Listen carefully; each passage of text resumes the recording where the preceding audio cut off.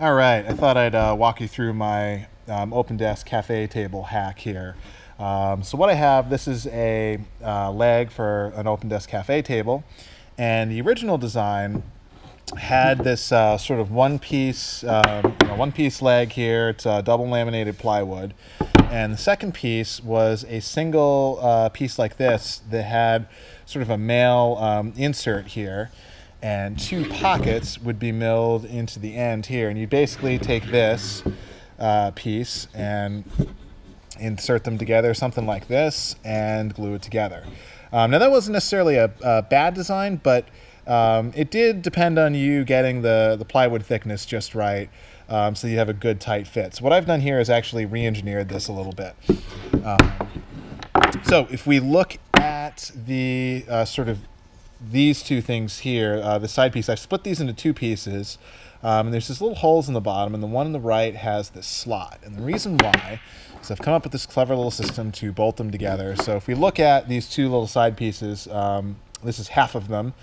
Uh, these would be, you know, there's an opposing piece that uh, glues together here. But basically, I have these two little inserts. Uh, one here um, has nothing in it, and just this little L on the top, and the other one has an embedded uh, quarter by 20 T-nut. And both of these are designed to go into these slots like this. Uh, so they slide up in. Um, and this one over here. And the little L at the end prevents them from being installed uh, the wrong way. Um, so in practice, this looks like this.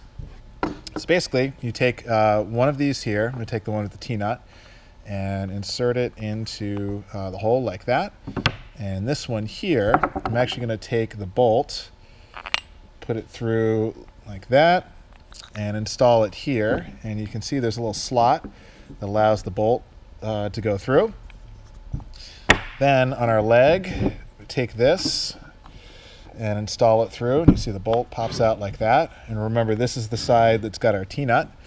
Uh, so we put this on here, something like that.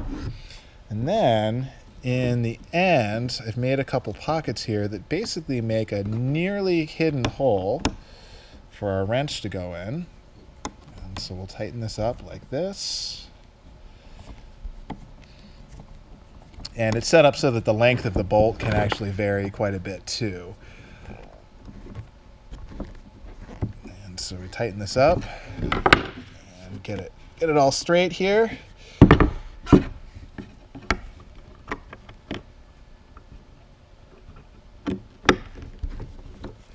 Sure it's flush in the top. Give it a couple turns. It's nice about this, you can crank down as tight as you want. And now we've got a completely solid cafe table leg that you can cut out of any plywood thickness, which is great, and installs together in seconds. And the only uh, the only hint that there's something going on here is this little hole and these little things on the bottom. But since this is going to be up um, underneath the table, there shouldn't be uh, any indicator that something's going on. Um, the bolts that go on the bottom of the table go right through here, and you're all set.